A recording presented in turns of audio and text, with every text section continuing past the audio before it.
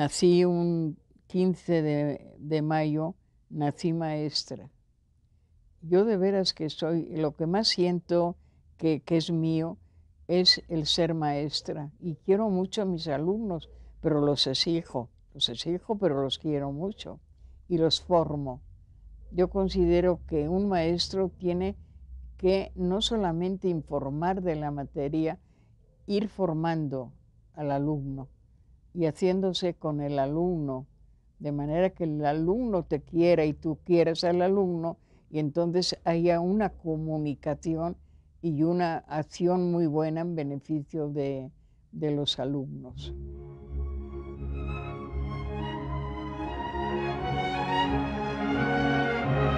Aurora Arnaiz tenía la fama de ser una maestra muy dura, una fama perfectamente ganada a pulso. Era una de las maestras más duras que había en Derecho Constitucional. Guardo por ella una gratitud y una admiración siempre y estará en mi corazón. Quiero mucho a Aurora, creo que es una gente que representa algo muy importante en la vida del exilio español y además y sobre todo en esta Facultad de Derecho.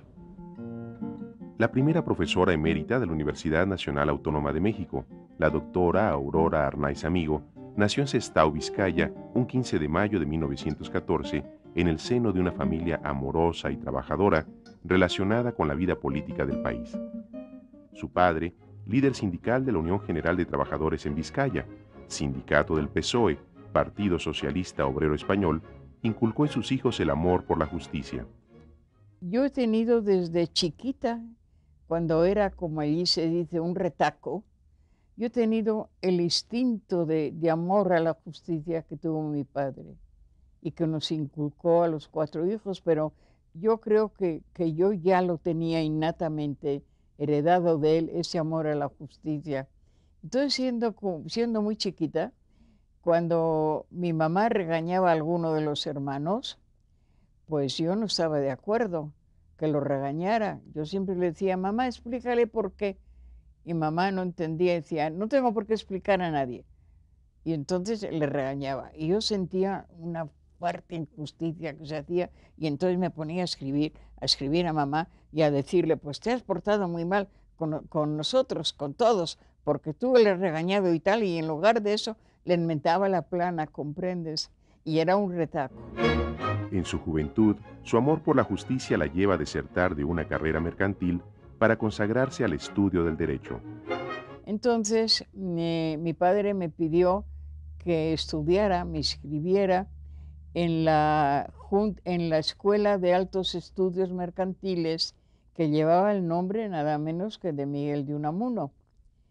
Y yo pues le dije que sí, que bueno, pues que estudiaría, por, y me explicó lo que quería. Dice, como eres la mayor, pues y eres mujer, pero bueno, pues quiero, yo quisiera esto. Sí, papá, pues lo voy a hacer. Y yo por disciplina, por amor a mi padre, que todos lo, quisimos muchísimo, los cuatro hijos, pues por amor a él hice la carrera mercantil. Pero yo me di cuenta que las finanzas y los números no me iban y no me van, en realidad me siguen no yendo, no yendo bien. Y entonces yo le hablé a un maestro llamado Cabezuelo y le dije el problema que yo tenía. Y me dijo, bueno, ¿y qué quieres? Digo, pues yo quiero ir a Madrid porque no había universidad en, el País Vasco. Yo quiero ir a Madrid a estudiar derecho. Pues bueno, el, problema es que si tu papá quiere esto va a ser muy difícil. Digo, ¿por qué no va usted y, me lo, y le habla? ¿Y por qué no le hablas tú? Digo, no, yo no, yo, mejor si va usted. Y entonces Cabezuelo, profesor, vino a la casa, habló con mi papá y le dijo, pues es que su hija lo que tiene una vocación, porque yo ya la advertí, lo que tiene una vocación, pero clarísima, es el amor a la justicia y en su consecuencia el derecho. Y pide esto, que le permita ir a, a Madrid, a la entonces Universidad Central de Madrid, que hoy es la Complutense, es la misma, a estudiar derecho en su facultad. Y mi papá, que era una persona muy, que, de, muy amorosa y, y muy recta, dijo, bueno, pues si mi hija quiere eso, pues yo confiaba en ella para hacer este proyecto. Pero pues ella, si dice que quiere ir a Madrid, pues sí, la, la envío a Madrid a estudiar. Realiza estudios en Derecho en la Universidad Central de Madrid, donde es alumna del maestro Adolfo Posada y su ayudante Nicolás Serrano. Y entonces yo siempre recuerdo a don Adolfo Posada, él, era muy un señor que vestía muy elegante, ¿sabe? Vestía con el tuis ese inglés y sus zapatos de ante, muy elegante. Y a lo mejor se abría la puerta, le abría el, el ujier, porque allí había ujieres. ¿Eh? Le abría la puerta y entraba. Y subía al estrado, mira, lo estoy viendo. Subía al estrado. Entonces todos nos levantábamos asustadísimos, nos levantábamos a saludarle al maestro. Son ceremonias y cosas que entonces existía hoy. Si les pides a los alumnos que hagan eso, pues no, no. Es otra, otro estilo de vida ya universitaria. No concluye sus estudios en Madrid por causa de la guerra civil, hecho histórico que daría un vuelco completo a su vida. Y cuando ya empezaba la amenaza de la guerra, papá me envió, me llamó por teléfono y me dijo, deja todo y vente para acá. Pero vino la guerra y yo me quedé en Madrid y pues ahí pasó ya todo lo que pasó. Al terminar la guerra, deja tras de sí a su familia diseminada por diversos países.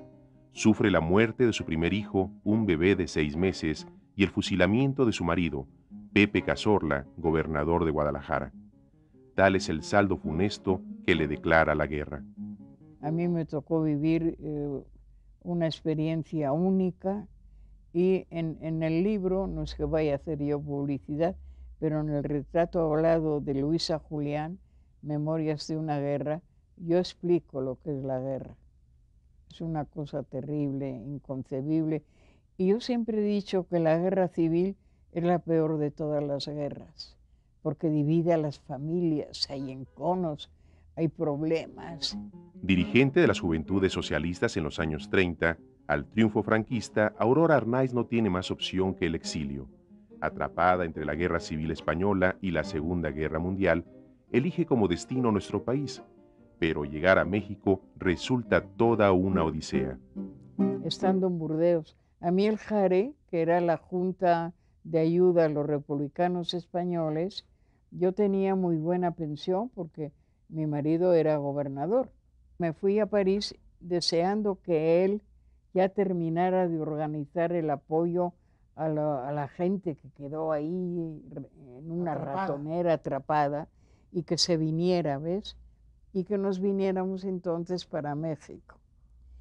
Pero él no salió, no salió, y entonces entraron los nazis y nos, y nos quedamos sin poder salir a la calle los españoles porque estos benditos franceses distribuyeron la careta antigas a los franceses, para los extranjeros no. Y entonces la policía, en cuanto ve, la policía nazi además, en cuanto veía que por allí iba un señor o una señora sin careta, al campo de concentración. Logra zarpar de Burdeos tras una espera de muerte. Porque resulta que salimos en el mes de noviembre y cuando llegamos a alta mar, nos dieron, le dieron orden al capitán de regresar, porque habían dicho que había minas ya puestas por los nazis. Y entonces tuvimos que regresar y esperar en Burdeos que buscaran un itinerario en que no había posibilidad de minas. Y entonces salimos el 1 de diciembre, por no sé qué rumbo, no sé por qué rumbo, no sé, ahora no me acuerdo, ahí lo digo un rumbo, eh, pues sí, mucho, mucho más largo. Y llegamos a Santo Domingo el 24, la Nochebuena, con un calor tan terrible. Y a ver, pues que, que no parecía Nochebuena. En Santo Domingo debí de estar como unos siete meses. Muy largo. Y ya entonces salí para La Habana, a ver si ya Tata Cárdenas abrí el segundo cupo. Sí. Salió el segundo cupo, salió mi nombre y entonces yo ya me vine para acá. En el La Salle, un barco terrible de cómo iba hacinado de gente.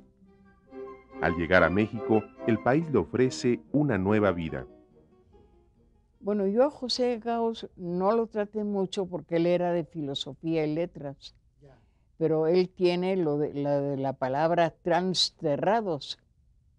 El español trajo la tierra consigo mismo y la mezcló con la tierra de México, de manera que se forma una comunidad como un puente entre México y entre España. Pero mi experiencia ha sido dura. No, no, no, nos, hemos, no nos pudimos adaptar así porque sí, como un milagro. No, tuvo que pasar tiempo. Bueno, yo aquí eh, me casé con Emilio, natural de Salamanca, nacido en Salamanca, y que era ya profesor de la ESIME. Eh, profesor de la ESIME, mecánica y eléctrica, eléctrica. Y entonces eh, él había estudiado en Alemania el posgrado y tenía muy bien, claro, muy, muy buenos estudios hechos. Yo lo conocí aquí, nos casamos, nacieron mis dos hijos. Un día le dije a Emilio, digo, oye Emilio, fíjate que yo quiero terminar mi carrera de derecho. Y dice, ¿cómo que terminar tu carrera de derecho? Digo, sí, por la que tengo empezada en España. ¿Y por qué? No pretenderás ejercer de abogado. Dice, no, porque eso de los abogados no, ¿eh? Abogados no, que yo soy ingeniero, no. Y tal, hablando así muy tranquilamente. Y entonces le dije, mira, todo lo que se empieza en este mundo hay que acabarlo. Yo lo empecé, pues voy a acabarlo. Dice, ¿y entonces qué quieres? ¿Dejar el título en el baúl? Digo, bueno, pues vamos a ver, pero yo lo que quiero es terminar la carrera. Bueno, pues hazlo. Pese a todas las adversidades de su vida, Aurora Arnaiz será capaz de salir adelante y terminar su carrera de Derecho en México. La doctora Aurora Arnaiz eh, es discípula de un extraordinario maestro que fue don Manuel Pedroso. Don Manuel Pedroso fue el, director del Seminario de Derecho Internacional y de Teoría General del Estado. A la hora en que se divide este seminario, y es completamente de Derecho Internacional y completamente de Teoría General del Estado, la primera directora es doña Aurora Arnaiz Amigo. Bueno, yo supongo que, tú fuimos discípulos del mismos maestros, pero no podría yo precisar de cuáles, pero sobre todo de Manuel Pedroso.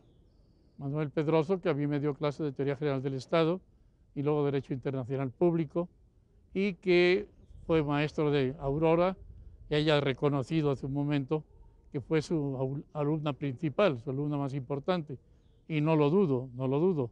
Bueno, para empezar, Manuel Pedroso, su nombre era Manuel Martínez, conde de Pedroso.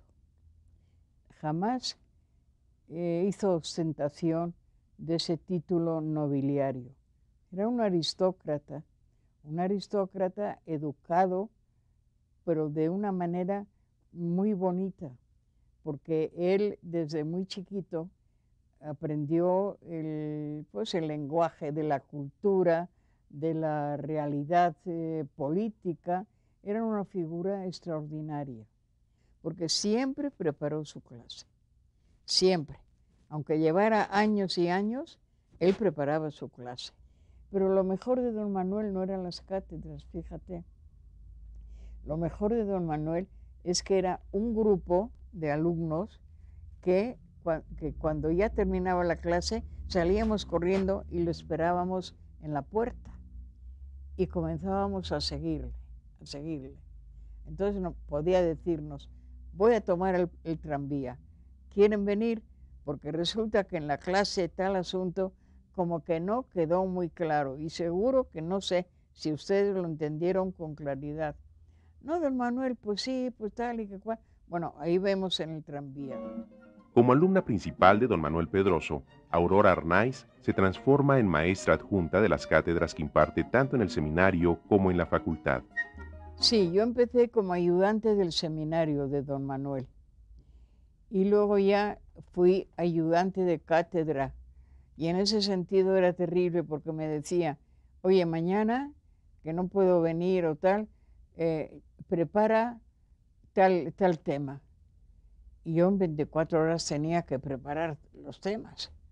Así, así de, así me ponía. Y cuando decía, no, don Manuel, no, pues un día para otro no puedo hacerlo. ¿Cómo que no puedes hacerlo? Pues tienes que poder. Inicia así una de las facetas más importantes de su carrera, la de maestra. Es una maestra que sin duda alguna nos da a conocer los grandes pensadores de teoría general del Estado. Con ella aprendemos, aprendimos de Norberto Bobbio, aprendimos de los grandes maestros como es eh, Bodino, Montesquieu y los autores también de teoría del Estado modernos. Con ella hemos logrado tener toda esa cultura hispánica que llega a nuestro país. Su clase, una de sus primeras clases, en que nos explicaba a Fernando Lasalle su libro qué es una constitución, es, sigue siendo una, una presencia imborrable en, mi mente. Eh, plantear esa constitución no solamente como un texto escrito eh, que puede funcionar conforme a la sociedad o no. Hay constituciones que son nominales y que no tienen ningún peso en la sociedad y al frente a ellas hay unas constituciones reales que son las que regulan el comportamiento, sino que es ese equilibrio de los factores reales de poder que una vez que se rompe ese equilibrio surge una nueva constitución, a mí me aclaró cómo funciona una sociedad. Yo diría que el alumno ideal es aquel que entra a la clase de un maestro de cierto reconocimiento, de cierto prestigio, y no tiene idea, idea de lo que es. A lo mejor te ha elegido porque el horario le acomodaba y de momento no sabes si te llamas Aurora o te llamas Luisa o te llamas Petra. No sabe. Y está desorientado, pero luego lo vas ganando. ¿De qué manera lo vas ganando? Y te va respetando en la medida que tú además le respetes al alumno. Y entonces tú no solamente informas, lo vas formando en el amor a la cultura, a los libros, a la universidad, a nuestra carrera, porque nosotros somos forjadores de cuadros políticos. Eso no se puede olvidar. Entonces, eh, tenemos una responsabilidad grande. Yo quiero mucho a mis alumnos, pero eso no quiere decir que voy a hacer yo concesiones, ninguna. Yo no hago ninguna concesión. Soy muy exigente con ellos. Tuve la oportunidad de que me encontrara con una mujer que supo llevarme, o sea, asimilarme a su mundo y que ella, para mí fue un honor, me asimilara en su mundo, que era el Seminario de Teoría del Estado, donde era primera directora de la historia también mujer en la Facultad de Derecho y que se hubiera en una joven estudiante inquieta eh, acercado y deseado invitarme con una monumental trayectoria como la de ella. Ella, sin duda alguna, es una maestra que da una gran trascendencia a la Facultad de Derecho es la primera maestra emérita. Yo recuerdo perfectamente que en el propio seminario veía uno desfilar a los grandes maestros, eh, don Emilio Rabaza, Gloria Caballero, el mismo Héctor González Uribe, don Jesús eh, Castañón y muchos otros distinguidísimos maestros que gracias a ellos tuvimos la oportunidad de recibir todas sus enseñanzas en esta Facultad de Derecho. La trascendencia es una trascendencia vital, es también la primera mujer que es maestra emérita de esta Universidad Nacional Autónoma de México.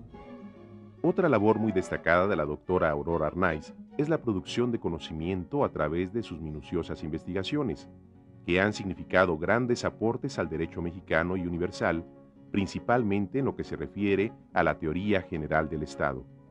Y se tituló mi, mi tesis El poder político supremo del Estado como poder jurídicamente organizado, donde yo hago una defensa del Estado, digo que, que el Estado no es todo eso que dice por ahí la gente, que es opresor, que es que no, que no, el Estado es nada menos que la civilización, ¿sabes? Sin Estado no hay civilización. Con la sociedad política puede haber cultura política y cultura en general, pero el elevar las relaciones transpersonales en algo ya impersonal pero superior, eso lo da el Estado y nada más que el Estado. Ese fenómeno de la norma constitucional como faro, como guía del funcionamiento de la sociedad, para mí fue eh, verdaderamente de un agradecimiento permanente y eterno a doña Aurora. Mira, el gran acierto de la denominación de Estado es que nosotros tenemos dos verbos que ya lo quisieran para sí muchos idiomas como el inglés. Nosotros tenemos la diferencia entre el ser y el estar. Entonces, ser es ontológico, son, son las esencias de la vida. Y el estar son las categorías, así lo explico yo. Son categorías sociales o categorías individuales. Y entonces es una diferencia que plasma lo que es el Estado. El Estado es lo que existe, está ahí, pero puede dejar de estarlo. Pero lo que no puede dejar de estar es la, organización política de la sociedad de nación. Eso sí no puede desaparecer. El Estado es eso. Lo dijeron los materialistas del siglo XIX. ¿Qué es el Estado? La sociedad de nación. Pues sí, en, en la acción. Pues claro, eso es el Estado. Es la civilización.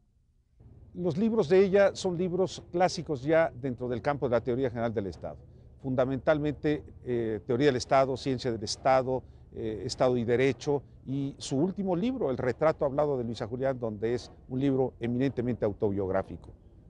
Las sufragistas inglesas hicieron un favor enorme, enorme a la humanidad con eso de luchar por el reconocimiento de la igualdad jurídica de la mujer y del hombre frente a la ley pero no se trata de salir a la competencia, sino de trabajar. Es decir, yo no soy feminista a ultranza, no. Yo cuando me dicen eso me digo, no, yo soy muy femenina, no, yo feminista no. Pero hay una cosa que sí hay que reconocer en la desde la Segunda Guerra Mundial, en el siglo XX, ahí se produce una ruptura enorme entre la mujer que estaba reducida al hogar y la mujer que quiere salir al mundo. No, no, no iba a hacer daño ni nada, eh, quería ser ella y salir al mundo.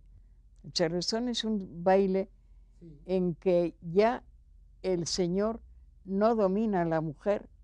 La mujer baila, está bailando, bailando, y le sigue y todo, pero es ella. El charleston abre un camino hacia el género al respeto a la mujer, simplemente.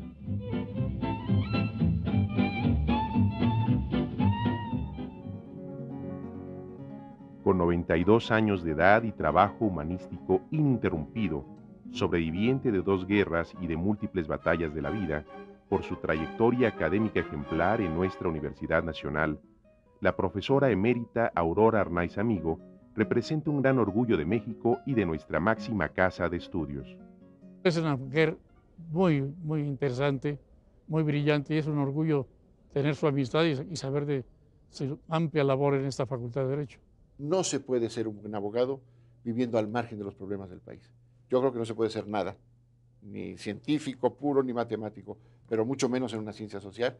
Y eso Aurora no lo pasaba de una manera directa, inmediata y vivencial, eh, a flor de piel absolutamente todo lo que yo soy se lo debo a la universidad, porque gracias a la universidad yo diario, diario, diario escribo, eh, doy alguna conferencia, algún artículo o escribo mis libros. Es todo.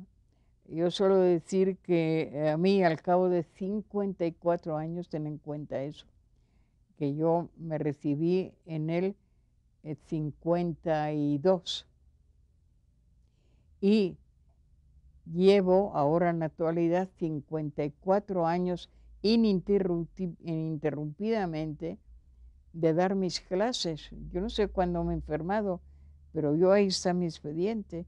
Luego me enfermo en vacaciones, eso es lo que pasa. Pero siempre me pasa eso. Pero durante el, año escolar yo siempre asisto a mi, a mi universidad, que me lo ha dado todo. Por eso a mí la universidad, yo conozco hasta las piedras del camino y las piedras del camino me conocen a mí, solo decir, es mi segunda casa, ya casi mi primera casa.